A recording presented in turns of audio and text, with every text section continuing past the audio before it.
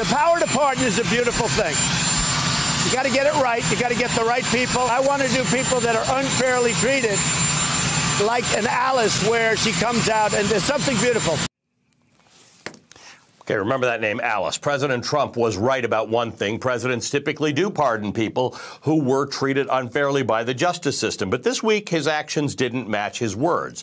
Right before Christmas, Trump pardoned every major defendant from special counsel Robert Mueller's investigation who didn't cooperate with the investigation. Two people who did cooperate, Michael Cohen and Rick Gates, who both testified in public, are the only two major figures who did not get a pardon. According to the New York Times, Harvard law professor Jack Goldsmith found that 88% of Trump's pardons went to people with personal ties to him or people who furthered his political aims, and that was before he pardoned Paul Manafort and Roger Stone. Right now, Trump is sending a clear message. He keeps attempting a coup after losing the election, and now he's telling his friends that he'll take care of them. But let's set aside the shamelessness of all of this for a moment.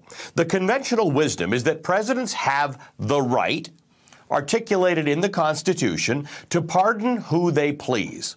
Trump does have that authority, but just because he can doesn't mean that he should. He has gotten it right before. He mentioned Alex, Alice Johnson. Trump commuted her sentence while she was serving life without parole for a first time nonviolent drug offense. Earlier this year, he gave her a full pardon after she praised him at the RNC. Now, put aside whether you think his intentions in that case were genuine. Either way, she's a good example of the type of person deserving of a pardon.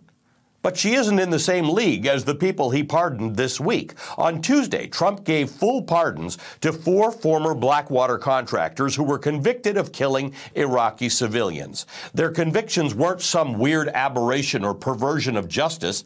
They killed innocent people in a war zone.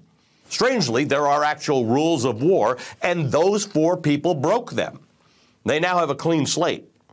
That's not to mention the corrupt former Republican lawmakers who Trump also pardoned that day. And for the first time, the president pardoned a family member Jared Kushner's father, Charles. Among other things, Charles attempted to intimidate his own sister in a uniquely cruel way from acting as a witness in a campaign finance probe. Kushner was sent to jail by none other than another Trump ally, the former New Jersey governor, Chris Christie, who had this to say about the crime last year.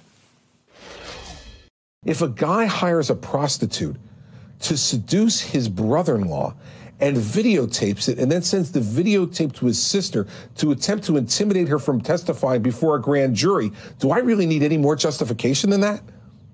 I mean, it's one of the most loathsome, disgusting crimes that I prosecuted when I was U.S. Attorney.